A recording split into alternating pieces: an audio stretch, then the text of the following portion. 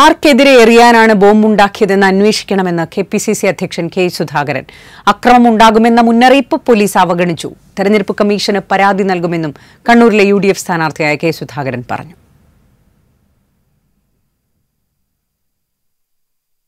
ഗൗരവതരമായി ഈ വിഷയത്തെ അന്വേഷിക്കേണ്ടുന്ന കാര്യമാണ് തെരഞ്ഞെടുപ്പിന്റെ മുൻപിലാണ് ഈ സംഭവം നടക്കുന്നത്.